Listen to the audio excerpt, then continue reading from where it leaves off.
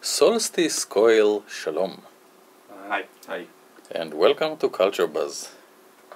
Actually, welcome back from a tour, from your Indian tour.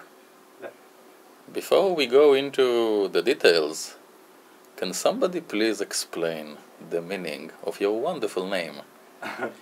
The, the meaning? We have a story behind the meaning. Uh, Because initially, back in 2001, we were called Solstice.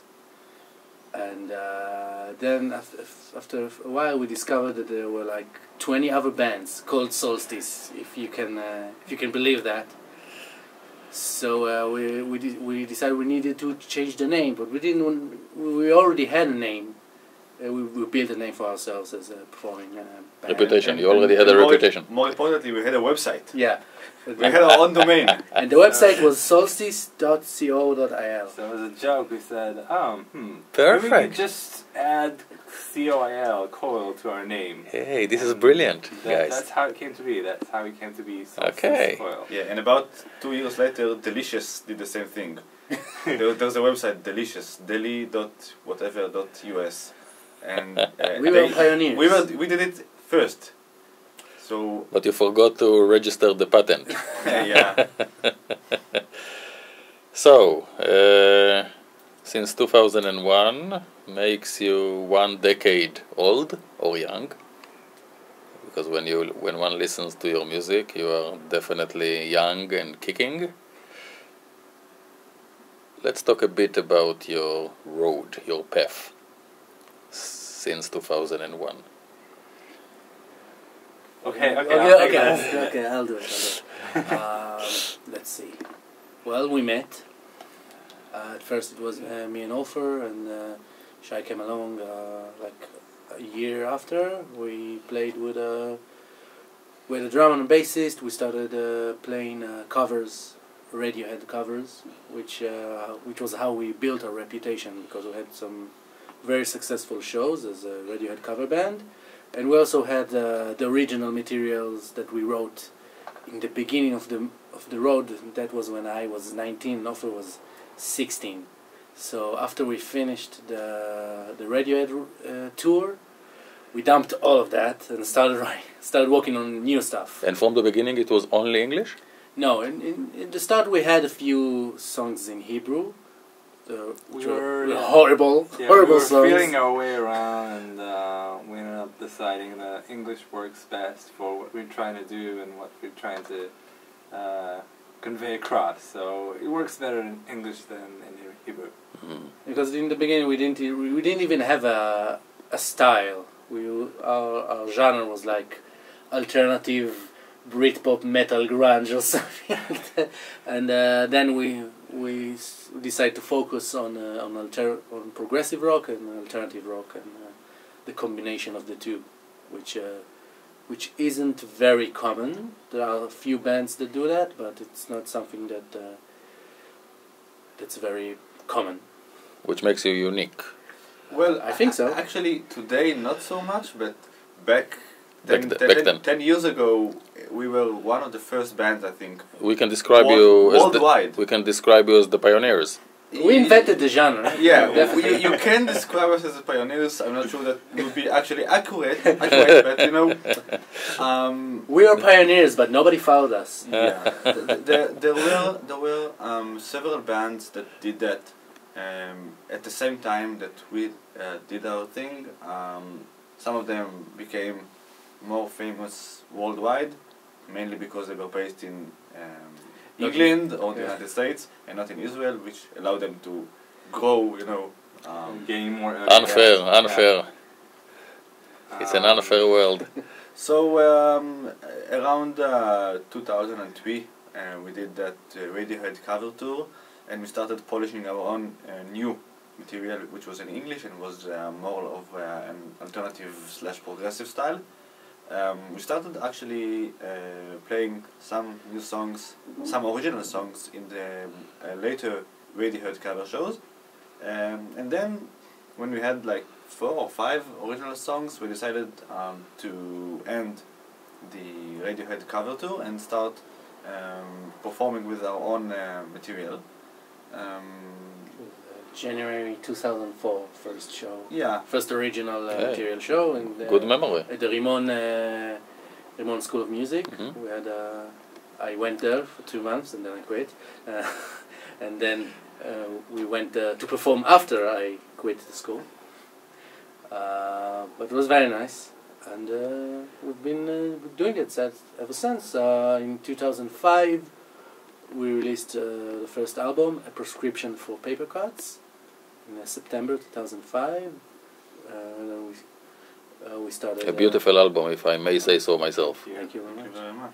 And uh, that that album got uh, a lot of reviews and uh, Attention. attention, uh, uh, mostly abroad, uh, in Europe, uh, in, in the US, in Indonesia, Yeah. and uh, Uzbekistan. We have a review in. Uh, there's a progressive rock site uh, from Uzbekistan. Wow. He wrote a review Wow. of the album, and uh, then we had a review in an uh, uh, Belgium magazine in French that sent to like uh, he said like 40 states that speak French. Is out of 40 states that speak Yeah. French. So so yeah, he said it's like a worldwide dis- distribution. And this paved the way to your tour in Belgium. Yes. There, the the festival we played in Belgium was actually one that the the magazine, Magazine. organized. Yeah. The, it's called Prog-Résiste, Mm. and uh, they really liked the material. They did an interview. They did a uh, review of the album, and then uh, they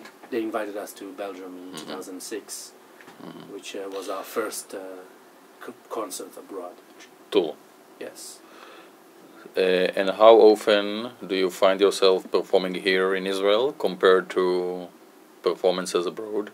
That, When, when, when you compare? that really depends on on the um, period. Depends period. Yeah, we had we had after we released uh, Paper Cuts, we had an extensive tour, um, which led eventually to the um, Belgian tour. Uh, but after we came back from Belgium, we went on a short hiatus and we um, changed some members of the band.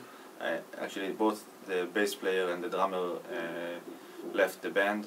Uh, the drummer just uh, started to focus on his family and How dare he? couldn't couldn't uh, really uh, pay as much attention to didn't the band enough. Yeah. as we wanted him to. He Uh, changed his priorities. Yeah, um, and um, during that period, I think from 2006 to 2008. Seven, seven till nine. Yeah, well, like a period of 18 months or so, we stopped playing altogether and focused on, on writing uh, new. 2009 till seven till nine we played a lot. We we had a period where we didn't perform. We focused on writing new stuff, Mhm. um, mostly on the computer. You took some time off. Yeah, we took some time off stage, but we we started to polish and build stuff material for the new album. Most of the songs, or some of the songs, were uh, already in existence uh, before that. Uh, we performed three or four of them in Belgium, and then when we came back, we we started uh, recording them into the computer and working on the computer, um, as opposed to working in uh, in the Yeah. studio. Uh, when we eventually uh, went back on stage, we had uh, very polished material, which can be heard uh, in uh, Natural Causes, which is which was released in um, 2011. Yeah. Your second album. Second Yeah. album. hmm Let's talk a bit about your Indian tour. How was it? Well, it was amazing. It was simply a brilliant experience. Um, we came into it not knowing exactly what to expect, and it was really one in a lifetime opportunity and experience. And uh, were very, we're still not over it. The audience was very surprising. Uh, we didn't know exactly what to expect, as you said, of the country itself, because we know about India, but we never, none of us have ever been. The five of us, because there's two more members, so not here. Uh, we've never been there, and we knew okay, it's India, but then we came, okay, it's India, and uh, and then we did the show, and there were like a lot of people, and they were very excited, very enthusiastic, and the, the kind of enthusiasm we're not used to because usually in our shows people uh, tend to sit and listen and concentrate because the music is complex. And these guys didn't care. They liked it when we when we played uh, when, when we rocked so they they liked it very much and uh, it, they gave us so much uh, love and enthusiasm Uh-huh. it, was, uh, it was really amazing It was there was this feedback between the crowd and, and what we had on stage that just was really new to us. They they really gave our hearts, which caused us to give our give our own heart during the shows, and this is something that we uh, experienced that we rarely had before. So we can safely say that the best audience you had is the Indian one. so far I, either either the Indian one or the Belgian one. the Belgian The Belgian uh, guys- was also Wha- pretty cool. Uh, they were like, you know, uh, 30, 40 year old programmers or something. Yeah, we, we, we, we played uh, in Belgium. Our uh, our big concert in Belgium in the Prog-Résiste Festival was in front of 300 computer uh, engineers. Geeks, computer geeks. no, computer engineers. we had 300 programmers in one room. Uh, the the crowd in India was uh, younger, uh, uh, generally, and um, what was interesting is that they all they, they, behaved in the same manner all across, whether we played in Delhi or Kanpur or uh, in Jindal University. They were really they were really into it. And the end of uh, of the Jindal show, they just burst onto the stage to just come and I don't know take pictures with us and took us us. took us 30 minutes to get off the stage because every single member of the audience wanted a picture with every single member of the band. And, and in uh, They are, abs- Delhi, they are absolutely right. yeah, and in Delhi, uh, two guys went uh, behind the security guys, just come and headbang During the show. During the During show, the yeah. show, they jumped on stage and started going, Yeah, started yeah. headbanging. Ah, okay. And, So- and that was in, in, in the big festival in, in NH- NH7, which wa- which had like real security with real security guards and, and, and a fence in front of the And stage. it, it didn't stop them. no, Sounds like you'll be going back there. Hopefully, we, we Hopefully, fans, yes. we We'd fans, to, we yeah. fans like that. Yeah. If there's another chance to go, we'll definitely go. Which leads me to the following question.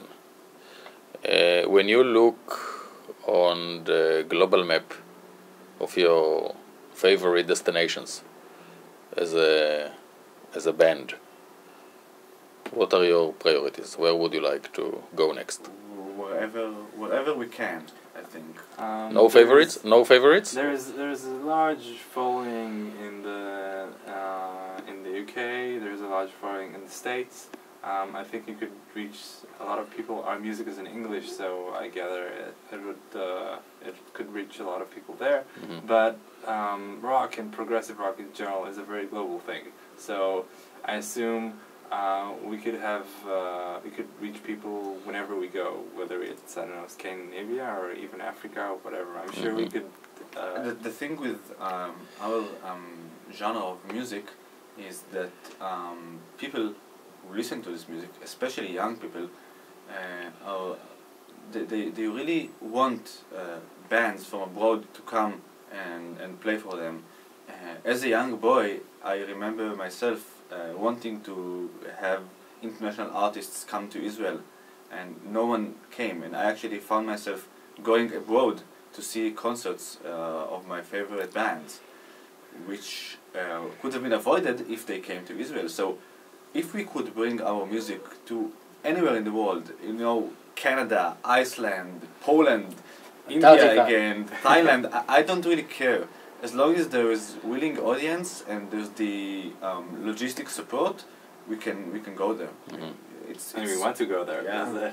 You- you- we didn't really expect uh, th- there to be so many people who like hard rock in India. That was the real surprise. We didn't know that how much they're they're thirsty for that.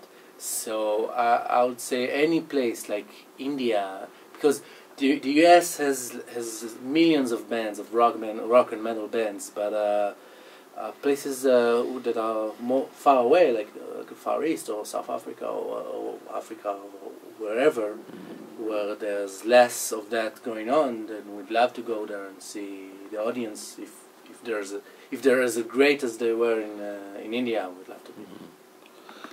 Uh, do Facebook and YouTube and all the other uh, new media outlets make it easier for uh, musicians today? Uh, yes and To- yes and yes and no. Uh, it makes it easier because it's it's much easier to reach people from all around the world. It makes it hard because now everyone can do that, and we Uh, the, the competition is yes fierce. we've been very uh, very tech savvy from from the beginning. We we have a very. Uh, We're, we're very, very, we have a website that's very, we, we invest a lot in a website. Opher and Shai uh, developed the website, and uh, Opher designs it, Yeah. and uh, we've had uh, an impressive website since 2002. We had a website, and then it was redesigned. Uh, we've worked on forums when they. Uh, when was the fo- thing in when the that was internet, thing, yeah. we, we've been to MySpace. Uh, then Yeah. we moved to Facebook. Uh, Yeah. YouTube, I think, brought us the biggest success, uh, our biggest online success because of the Dream Theater parody, which uh, which had uh, tens of thousands of uh, Yeah, views, and yeah. that, that that really got us exposure. Some of the people in India told us that we loved your Dream Theater parody. Wow, Yeah, amazing. Guys, what can we wish you for the future? More shows Um, abroad. We want to reach more people around the world. We want to play wherever we can. We want to get our music across, our messages across. we want to take over the world. World domination. yeah. a few more albums, I think. Record some more. So, sounds Yeah. good to me. yeah. Yeah, we're, we're actually working on our uh, third album. Hey, uh, as we speak. exciting. Yeah, we have all When can when can we expect him? it? Um, 2013, I think it's a fair estimation. Yeah, we're we're almost done with pre-production, which means that um, spring I think is is gonna be when we start recording the actual uh, tracks. It's being recorded in Israel. Uh, yeah, we, we record in Israel. Uh, we mix in Israel. Actually, we're the we, it, the, the album is self-produced, uh, but we record in in Bardo Studio, which is our favorite um, uh, recording studio In Tel Aviv? in Ramat Gan. Ramat Gan. Ramat Gan, yeah. Yeah, uh, that's where, where that's that's actually my my choice for drum recordings. Um, most of the other stuff we do at home for budget reasons. Um, and you know, But because because the technology allows it. yeah, It sounds good. Uh, it's not uh, it's not a Yeah. compromise really. I, I'm guessing that you are you will not compromise when it comes to your music Yeah. music and sound. and sound. Yeah, you can't record drums at home though. Yeah. so. Okay, guys, we wish you all that you wish yourself and more than that. תודה רבה. Thank you Good very luck much. and shalom.